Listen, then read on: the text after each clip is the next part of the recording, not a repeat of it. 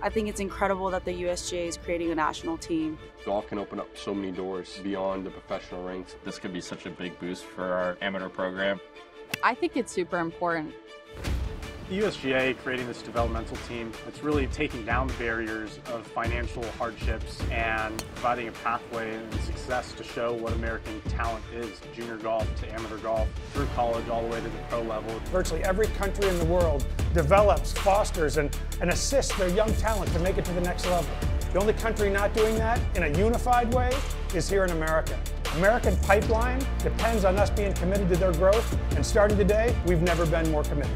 You know, I grew up playing in the national team. It was a goal, an inspiration. On a national team, they're getting support from the best coaches, the best training. They're surrounded by really good juniors. Financially, I wouldn't have been able to go to a lot of the tournaments I went to if it hadn't been for the support of, of Team Ireland. Just with some of the better opportunities that some of these top AMs could get, it could almost be a faster track to immediate success as a professional too. Is really an opportunity for us to lead and to ensure that the future generations of American golf talent are nurtured, are trained, are supported. And as this program grows, it's going to create the opportunity for boys and girls who never even thought about entering into the game of golf.